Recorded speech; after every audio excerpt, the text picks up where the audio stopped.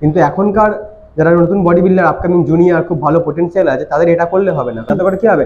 আর inner অর্গানসের ক্ষতি হবে dehydrate হয়ে যাবে কিডনি ফেলিয়ার হতে পারে। এই জিনিসগুলো করার দরকার নেই। As a pre workout adenosine monophosphate MP অনেকে ইউজ করে।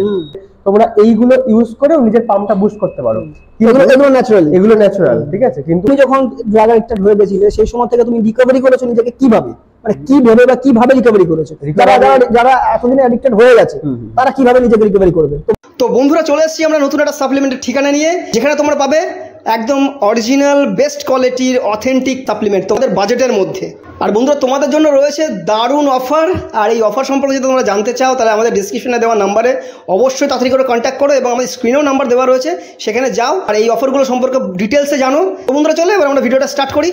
তো বন্ধুরা আরেকটা নতুন এপিসোড আর আমার সাথে এখন বসে আছে দু হাজার আঠারো সালের junior mister India Rajdeep Dey. নমস্কার। রাজদীপকে সবার প্রথমে আমি আমার চ্যানেলে ওয়েলকাম করি Rajdeep welcome to my channel অনেক ভালো লাগল আসার জন্য যে আজকে আসলে তুমি এখানে এত দূর থেকে গরমের মধ্যে। হ্যাঁ আজকে সত্যি বলছি অনেকটাই গরম পড়েছে মানে আজকে আমাদের টেম্পারেচার সব থেকে বেশি। হ্যাঁ, হ্যাঁ। ফর্টি থ্রি প্লাস হয়ে গেছে। হয়, গরম। হ্যাঁ যাই হোক আর এছাড়া ও নিজের category fifty five sixty sixty five অব্দি খেলেছে। সেই ক্যাটাগরিতে কিন্তু গোল্ড মেডেল নিজের নিজের ক্যাটাগরিতে হ্যাঁ। এছাড়া এই বছর কিন্তু আবার নতুন করে শুরু করেছ তুমি। হ্যাঁ শেষ থেকে কম্পিটিশন খেলা শুরু হ্যাঁ করলাম। আমাদের সব থেকে বড় হ্যাবিট ক্লাসিক যেটা হয়েছিল আমাদের ওয়েস্ট বেঙ্গল সেখানেও কিন্তু নিজের ক্যাটাগরিতে থার্ড হয়েছিল। আবার স্টার্টিং নতুন জার্নি শুরু হয়েছে। তা তুমি এই মুহূর্তে প্রচুর স্টুডেন্ট রেডি করছ নিজেও এক সময় খেলেছো এখন আবার নিজে নিজেও রেডি হ্যাঁ, হচ্ছে। আমি এখন একটুখানি কম কমই খেলি হ্যাঁ, মানে বেশি ফোকাস যারা যারা খেলতে চায় নতুন ছেলে পেলে। তাদের জন্য। তাই আমাদের আমাদের দর্শকদের একটা জিনিস বলি যারা নতুন মানে খেলতে আসছে নতুন নতুন ছেলেরা যারা আসে যারা বডি বিল্ডিং করবে বা কম্পিটিটিভ বডি বিল্ডিং করতে চাইছে তাদের তুমি কি সাজেশন দেবে? যাতে ওরা তোমার মতো তুমি তোমার কাছে যেটুকুনি আমি পার্সোনালি শুনলাম আজকে আমার দর্শক দর্শকরা শুনবে তোমার মুখ থেকে যে তুমি যখন তুমি বডি বিল্ডিং করতে গেছিলে তখন তোমার কি কি ডিফিকাল্টি ফেস করতে হয়েছিল? যেগুলো আমাদের যারা নতুন দর্শক আছে যারা নতুন বডি বিল্ডিং করবে তারা যাতে এই জিনিসটা ফেসটা করতে হয়। তো আমার প্রথম কথা হচ্ছে, আমি যখন বডি বিল্ডিং করতাম, আমাদের সময়ে, সেই সময় এত এডুকেটেড নলেজেবল যারা সাইন্টিফিক প্রসেসে বডি বিল্ডিংটাকে করায়, তাদের খুব অভাব ছিল। মানে আমি যখন বডি বিল্ডিং শুরু করেছি, ধরতে গেলে প্রায় সম্পূর্ণ নিজে নিজে জেনে একটু ইন্টারনেট কারও বড়দের কথা শুনে সব কিছু মিলিয়ে, ধরতে গেলে প্রায় নিজের উপর এক্সপেরিমেন্ট করে আমি বডি বিল্ডিং করেছি। কিন্তু এখনকার যারা নতুন বডি বিল্ডার আপকামিং জুনিয়র খুব ভালো পোটেনশিয়াল আছে তাদের এটা করলে হবে না। কারণ এখন একটা ভালো কোচের আন্ডারে যেতে হবে। এবার কোচ তোমাকে চুজ করে নিতে হবে যে তার নলেজ কি আছে তার ব্যাকগ্রাউন্ডে কতজনকে রেডি করেছে কত সুন্দরভাবে তারা রেডি হয়েছে। এই সমস্ত কোচের আন্ডারে গিয়ে যদি বডি বিল্ডিং করে তার তার বেনিফিটস খুব ভালো হবে। কারণ এখনকার জেনারেশন অনেকটা ইউটিউব দেখে ঠিক আছে? বাট ইউটিউবে কি হয়? ইউটিউবে প্রত্যেকটা ইন্ডিভিজুয়ালের জন্য কিন্তু কোনোদিন ডায়েট প্ল্যান ওয়ার্কআউট চার্ট বা আরও নানা জিনিসপত্র বলে সেগুলো কিন্তু হয় না। তারা কিন্তু। কন্টেন্ট বানানোর জন্য বলছে। তো সেই ইন্ডিভিজুয়ালটার হয়তো এই ওয়ার্কআউট প্রসেসে ভালো গ্রোথ না হতে পারে। কিন্তু ও ইউজ ও দেখছে অন্য একজন এখানে সবার ক্ষেত্রে বলা হয়েছে। তাই ও তখন বেনিফিট পাচ্ছে না। কোনো কিছু মিসকনসেপশনের থেকে অনেক কিছু ভুলভাল জিনিস খাওয়া দাওয়া উল্টো পাল্টা ভাবে মেনটেন করা ডায়েটটাকে একদমই মানে অনেকে আবার এটাও করে যে বডি বিল্ডিং এ দেখেছি ওয়াটার চেক করতে হচ্ছে। তার জন্য ফ্যাট লস করার জন্য সারা এক সপ্তাহ দু সপ্তাহ জল খাচ্ছে না কম কম জল খাচ্ছে। তাতে করে কি হবে? আর ইনার অর্গানসের ক্ষতি হবে ডিহাইড্রেট হয়ে যাবে কিডনি ফেলিয়ার হতে পারে। এই জিনিসগুলো করার দরকার নেই। তারা আগে থাকতে জানুক যে একটা কোচের প্রসেসে কীভাবে বডি বিল্ডিংটা প্রসেসিং হয় মানে কীভাবে কোন সময় করা যায় এইটা। আর আর একটা জিনিস আমি বলতে চাই আমি নিজে আহ, যখন মিডিল মানে একদম স্টার্টিং এ না কিছুদিন পরে বডি বিল্ডিংটা করতাম তখন আমি কম্পিটিটিভ বডি বিল্ডিং করতে যাচ্ছি আর কি। মানে একটু আপগ্রেড করার চেষ্টা করছি নিজেকে যে হয়তো ভাবতাম নিজে থেকে যে বডি বিল্ডিং লাইনে চাকরি টাকরি পাবো বা এরকম কিছু একটা হবে। সেই জায়গায় দাঁড়িয়ে আমি হয়তো আহ, একটু মিসগাইডেড হয়ে গেছিলাম। মানে আমি একরকম ড্রাগ ধরতে গেলে সেটা সবাই জানো এই বডি বিল্ডিং লাইনে প্রচুর পরিমাণে ইউজ হয় কিন্তু আমি প্রমোট করছি না। আমি আমরা আমাদের আমাদের চ্যানেলও কোনো রকম না, ড্রাগ প্রমোট করেন একদম না। এইটা আমি যাতে করে অ্যাওয়ারনেসটা বাড়াই একদম যাতে নতুন জেনারেশন যারা আসছে mistake-টা না করে। ঠিক প্রথম কথা হচ্ছে as a pre workout adenosine monophosphate AMP অনেকে ইউজ করে। যাতে করে পারফরমেন্স বুস্ট হয় বা পাম্পটা ভালো থাকে। কিন্তু দুদিন তিন দিন জিনিসটা ভালো লাগবে। তারপরে গিয়ে দেখা যাচ্ছে তার ওই অ্যাডিক্টেড হয়ে পড়েছে। মানে ওটা তখন ছাড়া ও আর ওয়ার্কআউট কোনোভাবেই করতে পারছে না। নর্মাল ক্যাফিন রয়েছে ওয়ার্কআউট রয়েছে এল আর্জিনাইন রয়েছে সিট্রুলিন ম্যালেট রয়েছে। তোমরা এইগুলো ইউজ করেও নিজের পাম্পটা বুস্ট করতে পারো। এগুলো ন্যাচারাল এগুলো ন্যাচারাল ঠিক আছে? কিন্তু ওই জিনিসটা কি? একটা ড্রাগ অ্যাডিক্টেডের মতো হয়ে যাবে। তুমি চাইলেও তখন ছাড়তে পারবে না হট করে। বা সেই সিচুয়েশনে আমি নিজে পড়েছিলাম। তার জন্য আমি নিজের এক বছর কি দেড় বছর স্যাক্রিফাইস করেছি বডি বিল্ডিং ধরতে গেলে ব্যায়াম করা। কারণ আমি ওই জিনিসটা নেব না বলে আমার পারফরমেন্স ডিগ্রেড হয়ে গেছিল অনেকটা। আচ্ছা। তার জন্য আমি সেরকম ভাবে তখন করতে পারতাম না। তারপরে আমি অনেক ওরা জিনিস থাকেও নি কিন্তু ওই যে মাঝখানের সময়টা তাহলে কি হচ্ছে আমাকে পিছিয়ে ফেলে দিয়েছে। নতুন জেনারেশন যেন কখনো এই মিস্টেকগুলো না করে। একদম প্রপার নর্মাল ভাবে বডি বিল্ডিংটাকে করতে হবে। তাড়াহুড়োর কোনো ব্যাপার নেই এর মধ্যে যে আমাকে এই জিনিসটা বেশি ইউজ না করলে আমার এটা হবে না এরকম না। একটা বাচ্চা ছেলে যে বাইশ বছর বয়স আর একটা এজ ম্যাচিওর পার্সন যে তিরিশ বছর বয়স সে এতদিন ধরে বডি বিল্ডিং করে এসছে সে যদি কম টাকা খরচা করে বডি বিল্ডিং এর পেছনে তাও ওই যে ছেলেটা প্রচুর টাকা খরচা হচ্ছে তার থেকে ভালো রেজাল্ট করবে। কারণ মাসেল ম্যাচুরিটি পেশেন্স দীর্ঘদিন ধরে আমাদের শরীরে মাসেলটা অ্যাড হচ্ছে মাসেলটা প্রিজার্ভ থাকছে সেই জিনিসগুলো ব্যাপার আছে। এই জন্য নতুন জেনারেশনকে আমি শুধু এই কথাটাই বলব যে কারোর কথা শুনে বা কোনো ইউটিউব দেখে বা কিছু থেকে কোনো কিছু নিজের উপর এক্সপেরিমেন্ট করতে যাও না ভালো কোচের আন্ডারে করো আর তাড়াহুড়োর কোনো ব্যাপার নেই। তাড়াহুড়ো করতে গেলে এই লাইনটা নয়। এখানে পেশেন্স রাখতে হবে ম্যারাথনের মতো। স্প্রিন্ট করার টাইম সবসময় না।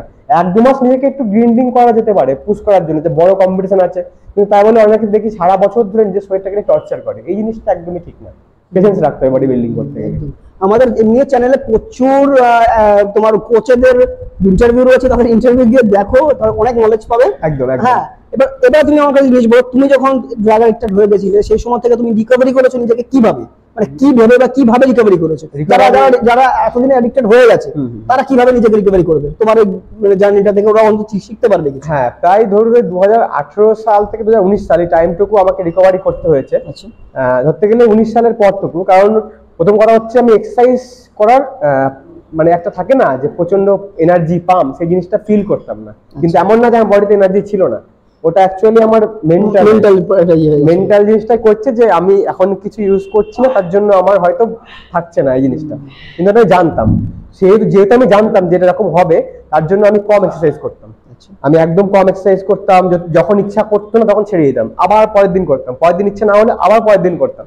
কিন্তু একেবারে বন্ধ করে দিইনি। লকডাউনের সময়টা বন্ধ গেছে আমি কিছু বলছি না নিয়ে জানি সিচুয়েশন কি ছিল। একদম একদম। তারপর থেকে আমার আজ পর্যন্ত আর কোনোদিন মনে হয়নি যে আমার কোনো জিনিসের দরকার আছে বা এটা ছাড়া আমি করতে পারব না বা কিছু। মানে ওই পিয়াকটের ফর্মুলাটা নিজের মনে ভেতর থেকে চলে আসে যে আমাকে জিততে হবে। আমাকে পরের দিন কম্পিটিশনে গিয়ে ফার্স্ট প্লেস মারতে হবে।